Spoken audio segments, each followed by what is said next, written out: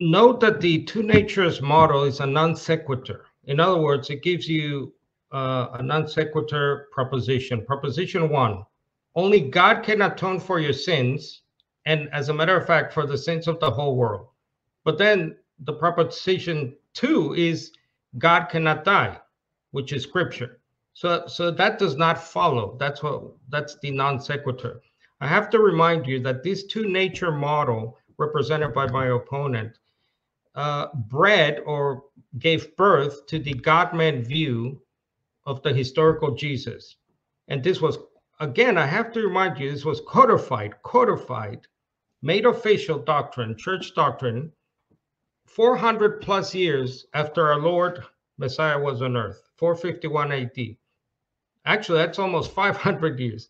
So the Chalcedon Creed influenced the later so called Athanasian Creed, which is the first in history to explicitly state a doctrine of the Trinity, that is, three persons in one nature or one substance. So that's why it's so important.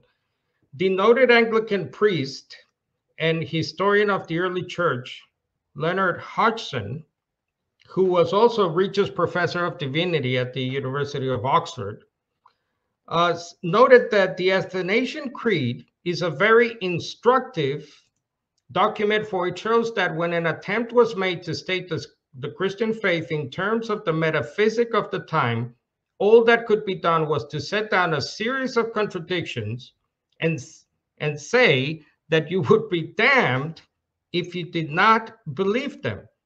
This was not a Unitarian, non Trinitarian, Arian. This is Leonard, Dr. Leonard Hodgson. Please check him out.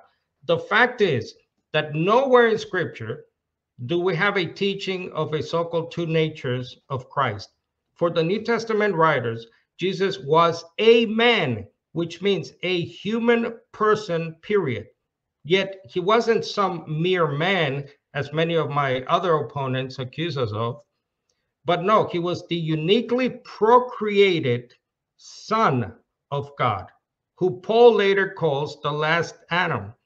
Now, this ties into one of the most prominent New Testament teachings that shows that the whole human person of the Son suffered and died for your sins, for my sins, for all time.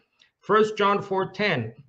It says, This is love, not that we loved God, but that He loved us and sent His Son as an atoning sacrifice for our sins.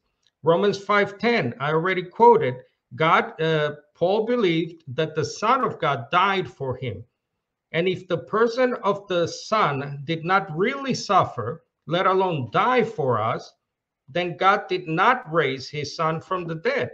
As we know, the Christian hope is to wait for his Son from heaven whom he raised from the dead, Jesus, who rescues us from the coming wrath.